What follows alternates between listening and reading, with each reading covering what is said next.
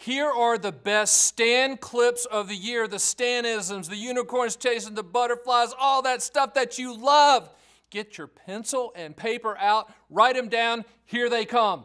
The people behind the camera are busting me about this t shirt. First of all, got guarantees like got milk, remember that?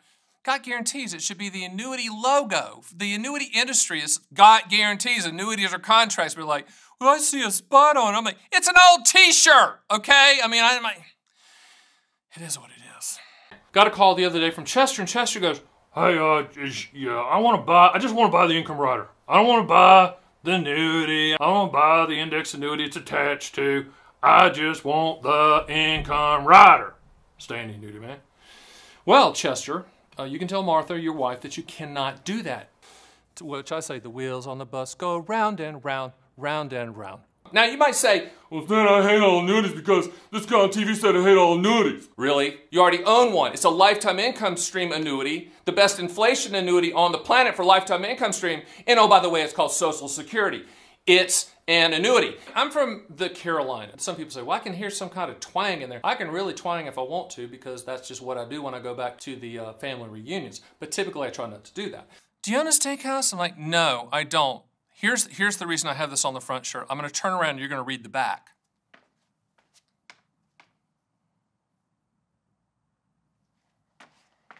So what does that mean, Stan? In annuities, you buy the steak, not the sizzle. Hypothetical, theoretical, back-tested, projected, hopeful, agents chasing the unicorns and the butterflies and every all the planets. No! At the time you take the payment, interest rates play a secondary role. Interest rates play a secondary role. Interest rates play a secondary role because interest rates play a secondary role. The reason I'm saying that is because the rates are low. I'm gonna... Shut up, okay? You don't know what you're talking about. It's about life expectancy at the time you take the payment. I'm getting ready to use props. I love props. Props on a video. It's gold. It's gold is what it is.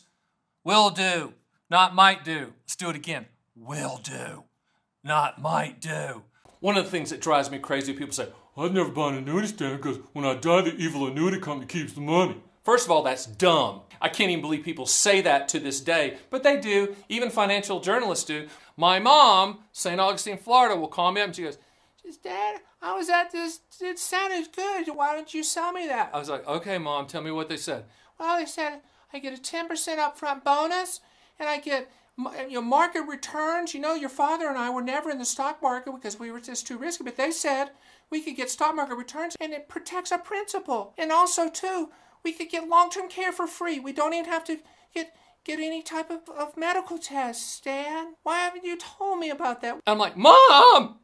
Mom! No, it doesn't work like that. Every time she goes to the Bad Chicken Dinner seminar, it's the same call. They charge 12% upfront bonus, and, they, and your father and I were never in the market, so this, uh, I mean, I'm gonna kill myself. This is not a joke. That was a pretty good prop, right? Not really. Whatever.